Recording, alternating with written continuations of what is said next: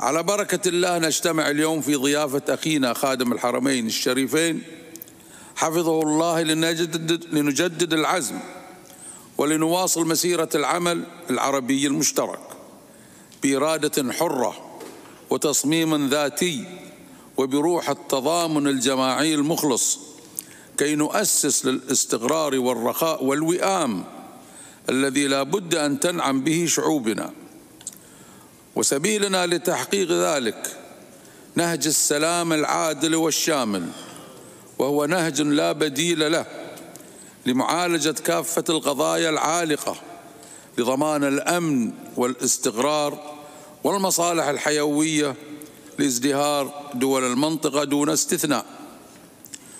ونرحب أشد الترحيب بالمساعي العربية الجادة التي نجد فيها بوادر مبشرة لبلورة نظام إقليمي متجدد ومتوازن والمتمثلة في استئناف العلاقات الدبلوماسية بين المملكة العربية السعودية والجمهورية الإسلامية الإيرانية واستمرار الهدنة الإنسانية في اليمن والجهود الجادة لحل أزمتها والجهود الجادة لحل أزمتها والعود الحميد للشقيقة سوريا إلى بيت العرب الكبير.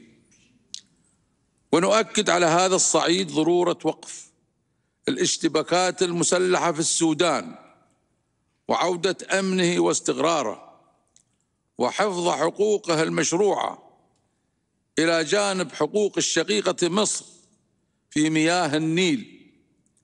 وبالعمل على استكمال مسيرة السلام للوصول لحل عادل للقضية الفلسطينية وهو حل الدولتين وفق مبادرة السلام العربية وبما يضمن حق الشعب الفلسطيني الشقيق في إقامة دولته المستقلة وعاصمتها القدس الشرقية.